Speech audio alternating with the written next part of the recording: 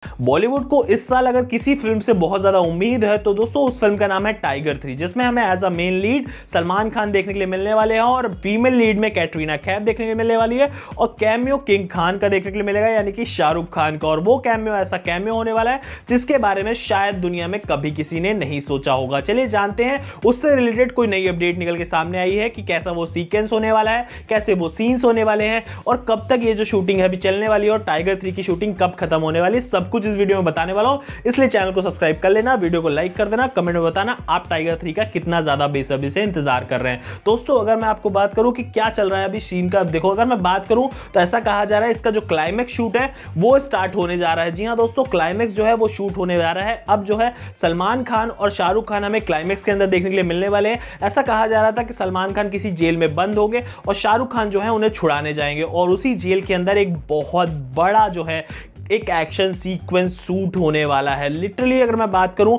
तो ऐसा कहा गया है अपडेट में कि भैया ये मैसिव होने वाला है। इतना मैसिव होने वाला है जितना शायद किसी ने एक्सपेक्ट नहीं किया था। और लिटरली ऐसा कहा जा रहा है कि मुंबई के अंदर तो इसकी शूटिंग होनी है ये मैं आपको बता देना चाहता हूँ। और दोस्तों, ऐसा कहा जा रहा है, इसके लिए एक नया, बहुत बड़ा और बहुत एक्सपेंसिव सेट शेड्यूल मतलब सेट जो है वो तैयार किया जा रहा है, जिसको भैया मतलब सिर्फ़ और सिर्फ़ टाइगर थ्री और पठान के लिए ही मतलब तैयार किया जा रहा है। आप खुद सोच सकते हैं कि भैया अब जो है इसका कितना ज़्यादा क्रेज है और कितना ज़्यादा अच्छे तरीके से मेकर्स इसको शूट करने की कोशिश कर रहे हैं। अगर मैं बात करूँ, ऐसा कहा जा रहा है कि टाइगर थ्री की जो शूटिंग है, वो लगभग अभी 40 दिन की और बची। यानी कि लगभग मैं कह दूँ कि डेढ़ महीने की शूटिंग टाइगर थ्री की और बची है। और इसकी जो शूटिंग है, फिर उसके बाद कंप्लीट होती नज़र आने वाली है। हालाँकि टाइगर थ्री को आई थिंक दिसंबर में रिलीज़ होना है या फिर नवंबर में होना है। अगर आपको पता है तो प्लीज़ मुझे करेक्ट कर दीजिएगा। तो टाइगर थ्री को अभी रिलीज़ होने में काफ़ी टाइम है बट दोस्तों ऐसा कहा जा रहा है कि लगभग अप्रैल मई मई के मिड तक लगभग मैं कह दूँ इसकी जो शूटिंग है, वो पूरी तरीके से कंप्लीट होती हमें नज़र आने वाली है और उसके बाद जो है टाइगर थ्री अपने पोस्ट प्रोडक्शन वर्क में चली जाएगी।